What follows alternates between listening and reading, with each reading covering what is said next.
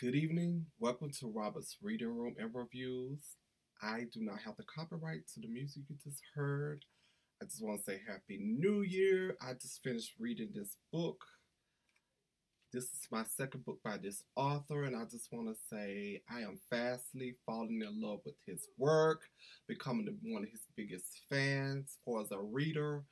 And I'm just going to say that first novel, I was like, wow. But this one, if I really had to pick and choose between the two, I, I just can't because totally two different stories, but the flow, you got that flow for real.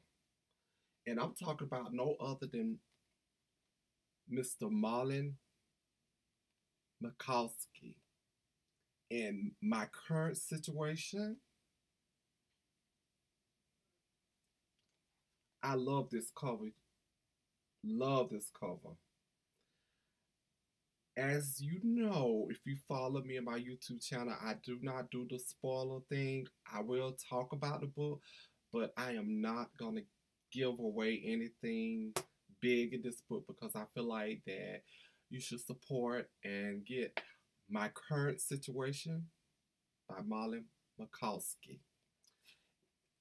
I do want to first start off by saying this has pretty few characters, but you won't get lost. Like some of the books I read, to me, it's too many characters to keep up. But Molly, you delivered on this one with the flow and everything, and I didn't get confused with what was going on and everything.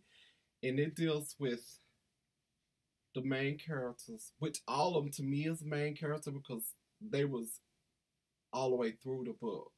But you have Danielle who is about to marry her high school sweetheart, um, Ricky. And then you have Ricky's best friend, Jason, who is I just want to say is a a dog. Put it point blank. Um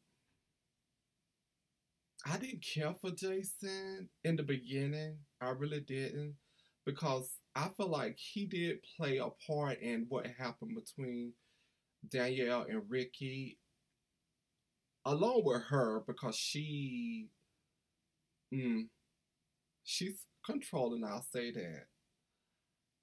I love how you brought her and her sister Deja, how that played out and how it ended up, because you know for a minute I didn't see it going anywhere, but you brought it to head, and I'm glad you did that. Um, my favorite character in this book, I would have to say Kimber. Kim, I think that's I'm just gonna say Kimber. Um, Kimber. Um, she was just to me the peacemaker throughout the whole book. I noticed that everyone came to her for advice. Jason and her husband, Mike, for a minute I was like, they should be best friends because just the way they acted. The Mike situation, I understand how it is when you have a sister. You want the best for her because I do have sisters, and I'm I'm protected too. But to me, he was a little bit overprotected, and it backfired. I'll say that. Um, Selena. Hmm. The way that unfolded toward the end, I love the ending because really, when you read this book, it is so close to the title. My current situation, especially the ending, Marlon. When you did what you did in the end, I was like, I had to do this. I'm telling you, people, this book is so good. Um, I actually had to go to work the next morning the other night, and I tried to get in bed around nine nine thirty, and you know, and get my rest because I have to get up like around four four fifteen, and I was so into this book. I looked up and it was almost like I want to say eleven or something.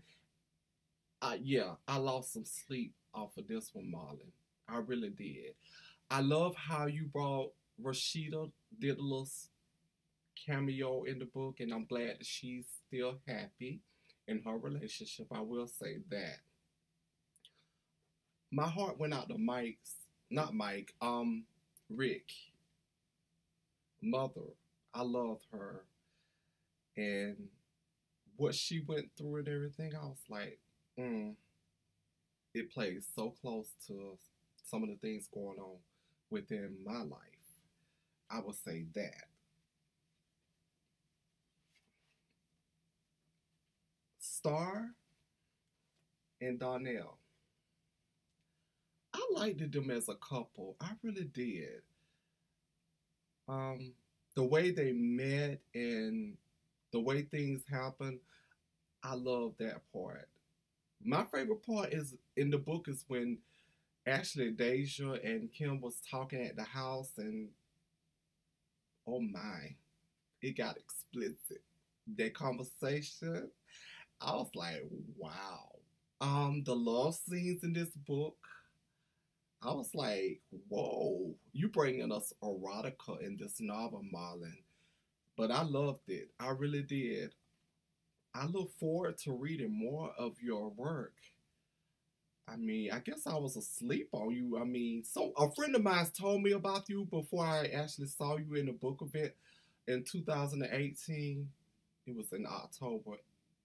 And when I met you, I want to say I got all of your books that you had. And I was on Amazon just looking, and I was looking at some of the reviews. And I must say, I got to read Real Love next. And I did get that from you because one of the reviewers reviews stood out when they said there wasn't even a reader, and you have made them into a reader with that book. So I look forward to reading Real Love. I really do.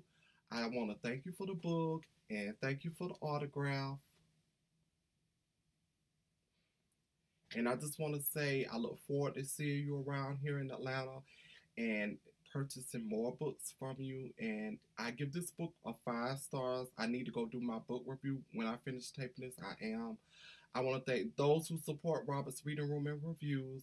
I'm on Instagram, Robert's Reading Room. My Facebook group page is Robert's Reading Room and Reviews also too. Thanks for all the support and continue to follow me. I got some things coming up. And please purchase this book by Marlon McCaulsky. My current situation is so close to the truth.